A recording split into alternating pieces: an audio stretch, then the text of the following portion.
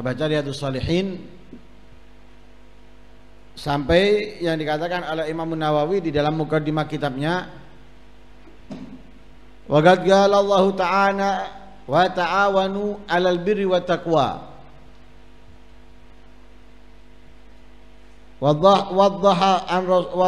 Rasulillah sallallahu alaihi wasallam annahu qala wallahu fi aunil abdi ma kana fi auni akhi. wa annahu qala man dalla ala khairin falahu mithlu ajri fa'ilih wa annahu qala man da'a ila hudan kana lahu minal ajri mithla mithla ujur man tabi'ahu la yankusu dhalika min ujurihim syai'a wa annahu qala li aliyin radhiyallahu anhu fa wallahi la an yahdiyallahu bika rajulan wahidan khairun laka min humrin na'am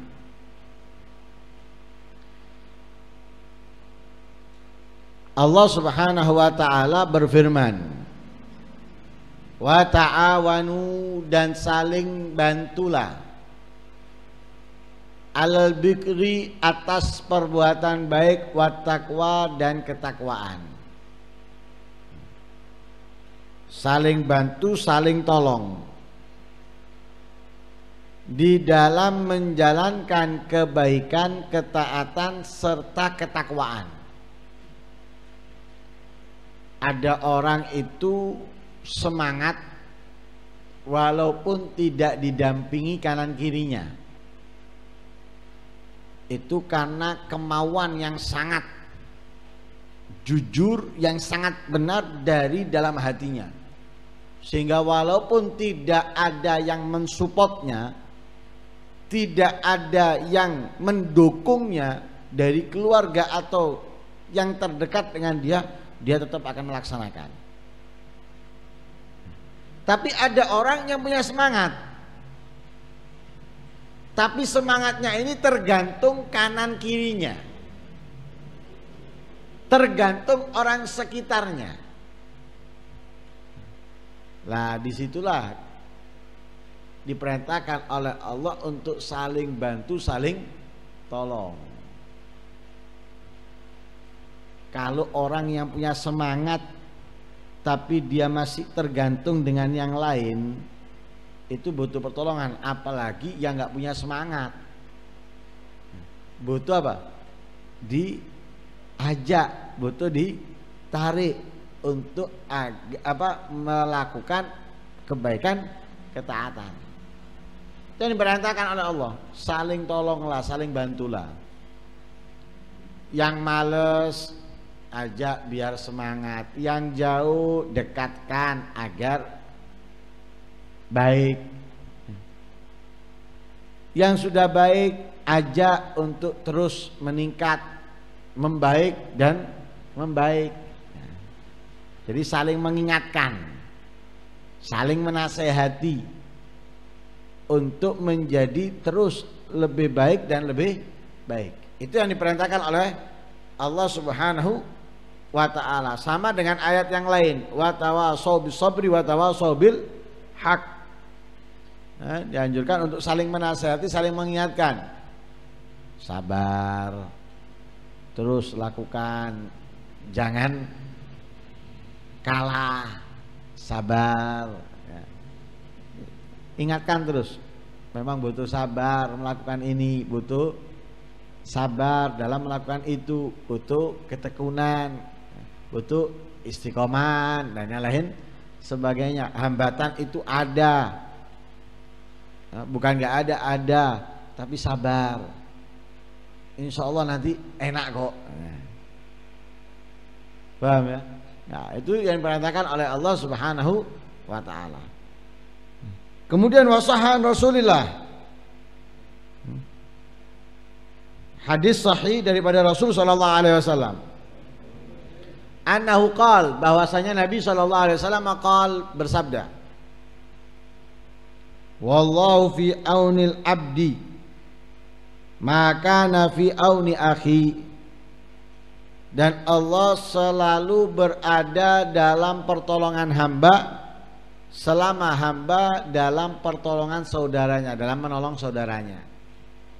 Jadi kalau kita menolong teman kita, menolong sahabat kita, saudara kita, melakukan kebaikan ketaatan, mendampinginya, mengajaknya, menuntunnya, maka kita akan mendapatkan kemuliaan. Apa kemuliaan yang kita dapat? Ditolong Allah, dibantu Allah. Jadi kalau kita ingin dibantu Allah, ditolong Allah, dalam apa? Dalam segala kehidupan kita. Nah kalau kita dibantu Allah, nggak ada dalam kehidupan kita yang sulit, yang berat, yang susah nggak ada, gampang semuanya. Lah bagaimana untuk mendapatkan pertolongan Allah, bantuan Allah? Nah, bantu saudara kamu. Bantu teman kamu, bantu sahabat kamu. Dalam kebaikan, dalam ketaatan.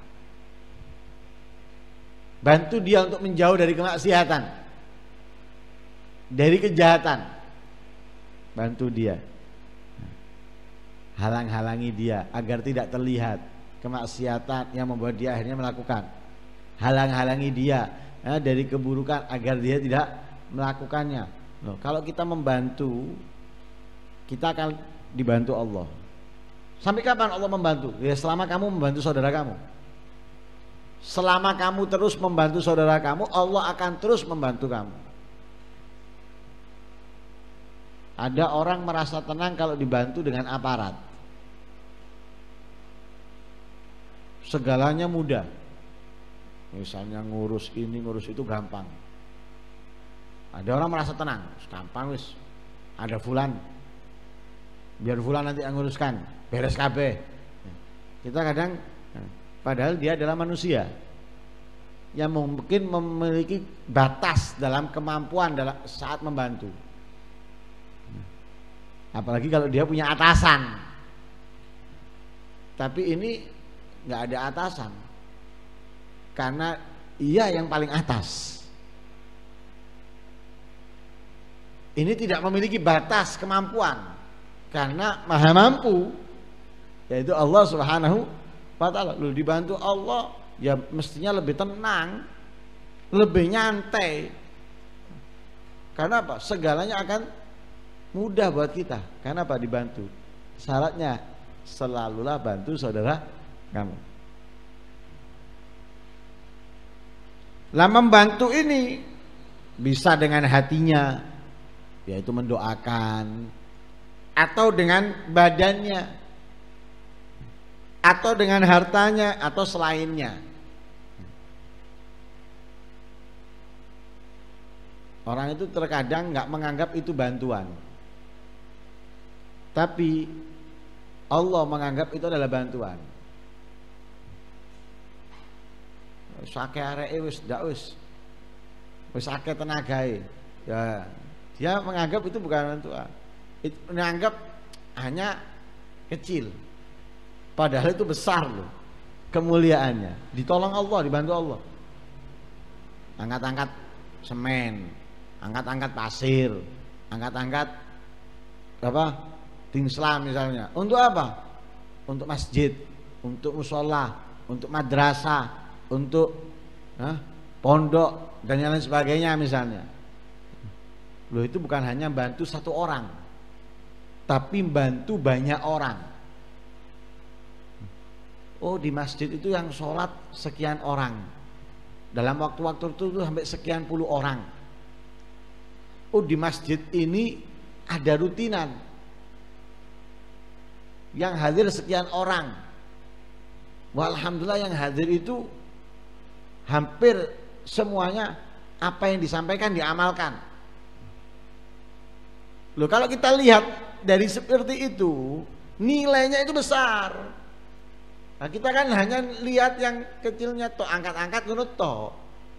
Tapi lihat yang kamu bantu dari kecil yang sedikit itu banyak orang. Dari banyak orang itu banyak yang mendapatkan faedah dan kemanfaatan. Hanya kita terkadang nggak merasakan. Padahal itu adalah sesuatu yang besar. Dan itu dicontohkan sama Nabi. Nabi saat bangun Masjid Nabawi. Masjid dibangun sama Nabi, masjid dibangun. Apakah Nabi cuma ngelihat sahabat angkat-angkat? Sahabat angkat-angkat, Nabi cuma ngelihat toh. Enggak. Nabi juga ikut ngangkat. Bahkan keluar darah. Keluar darah. Karena angkat-angkat keluar darah Nabi. Bukan Nabi lihat kerja. Angkat-angkat. Itu nilainya besar. Yang kita bantu itu tidak sedikit tapi banyak. Makanya orang yang kurang berpikir, kurang yang berenung tentang faedah apa yang dilakukan. Hanya ngelihat depan, nggak ngelihat dalamnya atau belakangnya. Coba dia lihat dalamnya, belakangnya. Oh, ternyata rentetannya ini, ini, ini, ini. Oh, berarti faedahnya besar ini. Kita lihat depannya aja sudah untung. Lihat depannya toh, apalagi lihat rentetan belakangnya. Lebih untung lagi. Kenapa? Depannya toh karena kita membantu Allah akan membantu kita. Nah, Allah membantu kita dalam segalanya. Dalam segalanya. Kita membantu A, urusan A. Tapi Allah membantu kita, menolong kita. Bukan satu urusan, tapi banyak urusan. Nah, kalau ada saudaranya, temannya, tetangganya sakit, bantu. Nggak bisa bantu ngasih duit, bantu jaga. Nggak bisa bantu jaga, bantu ngantarkan ke rumah sakit, ke dokter. Bantu belikan obat.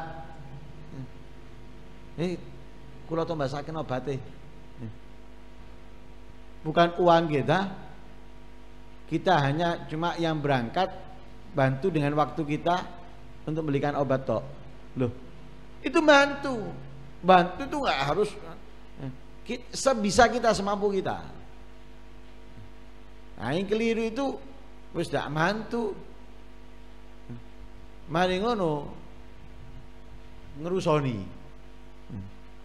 Ngerusak misalnya. Lah ini salah. Nah, kalau tidak bantu itu sama sekali ya diem Nah, kalau kita selama kita membantu akan dibantu oleh Allah Subhanahu wa taala.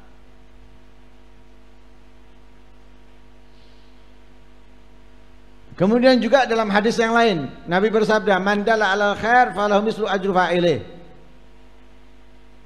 Siapa yang menunjukkan orang lain kebaikan, maka ia mendapatkan seperti pahala yang melakukannya. Nunjuk noto, Anak kono lho ngaji. Dino iki dino iki melu. Orang yang ditunjukkan ikut. Dia yang menunjukkan nggak ikut misalnya. Loh dia mendapatkan pahala orang yang ditunjukkan tadi. Ketika orang yang ditunjukkan ikut, maka dia mendapatkan pahala.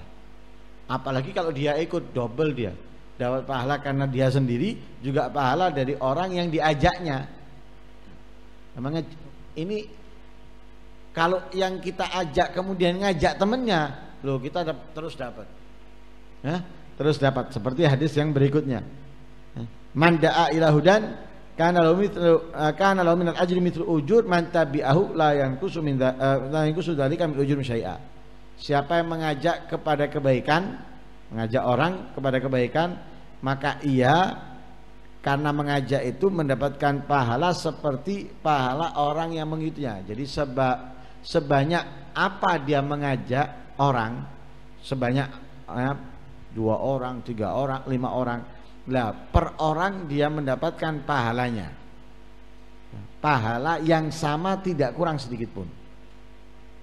Semakin banyak yang dia ajak, semakin banyak pahala yang ia dapat. Karena apa? Pahala yang dia dapatkan itu dia juga mendapatkan pahala dari orang yang diajaknya.